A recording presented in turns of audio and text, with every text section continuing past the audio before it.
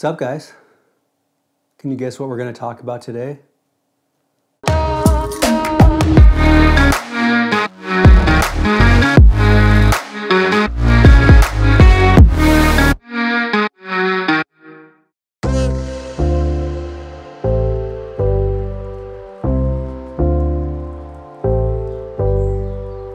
What you see here before you is a GorillaPod 3K and a GorillaPod 5K. I just upgraded to the 5K and we'll get into the reasons why. In terms of using the GorillaPod, my uses are using Sony cameras, an AS2 and an A7C, and either hiking, vlogging, or doing cooking videos.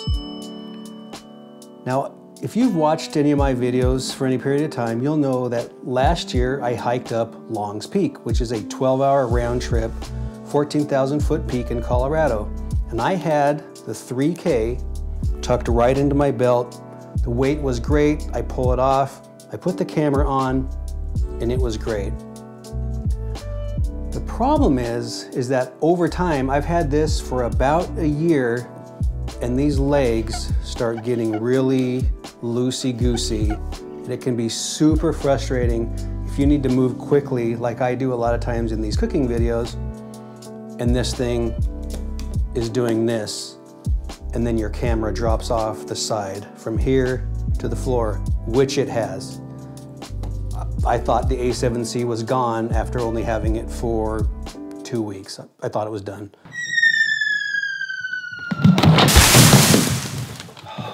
God. So if you're considering getting a GorillaPod for vlogging or in a similar scenario that I'm talking about, you may want to think twice about the 3K just because over time, these legs get super wobbly. If you do decide on the 3K, at a minimum, I highly recommend getting rid of the standard ball head that comes with it. It's got this weird triangular piece that requires a coin uh, to put in the bottom of your camera. And it's just, it's just kind of this weird piece. I, I immediately upgraded to the 3K Pro, which is what you see here. Had a lot of success, really liked it. Um, just much more sturdy in terms of the head uh, and easier to use. So I'm going to demonstrate, and this is not me goofing around, this is an A7S2, kind of a standard vlogging setup. I'm going to show you some of the, the frustrations I have felt. So here we are, you got the legs straightened out, you're vlogging, hey baby, mm -hmm. yeah. So you're doing your thing, and now you're maybe you're hiking or you're in the kitchen. Now you got to put this thing back down. So I'm gonna, oh, that's that happens all the time to me. By the way, these sockets get loose. That's not me goofing around either. So I'm gonna try to get this in the right position here. Okay. Um, okay. And we're good here. But then oftentimes I need to tilt the head down when I'm doing these cooking videos. So I set this down, I tilt it downwards. Oh, there it goes, okay. Try to try to get this back up, okay. Mm -hmm.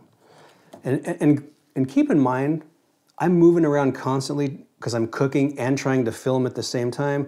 So now I'm trying to get this set up. Okay, I need this to go for, oh, nope. All right, okay, so,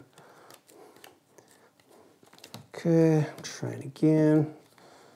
Okay, here it is, all right.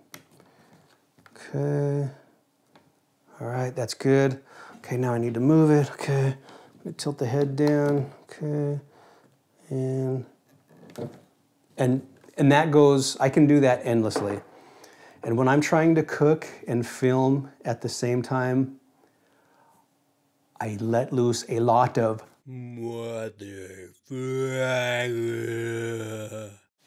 because that thing is collapsing. I take it outside when I'm cooking stuff on the grill, try to set it up, almost falls over onto the concrete.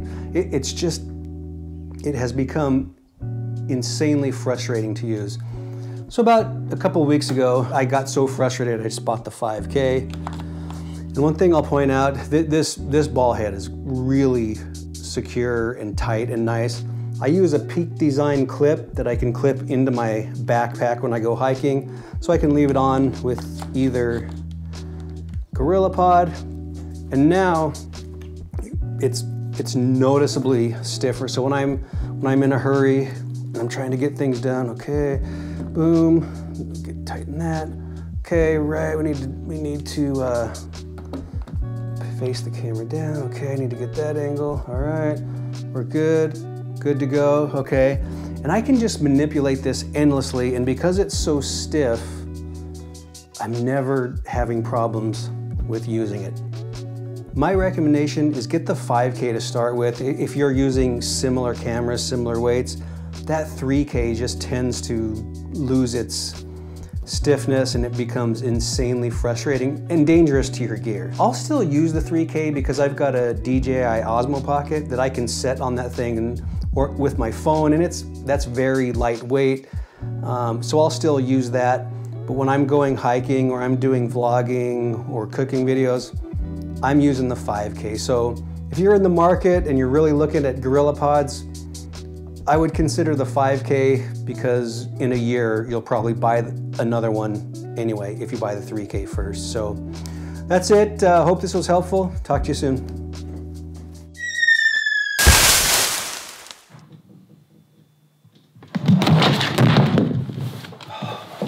God.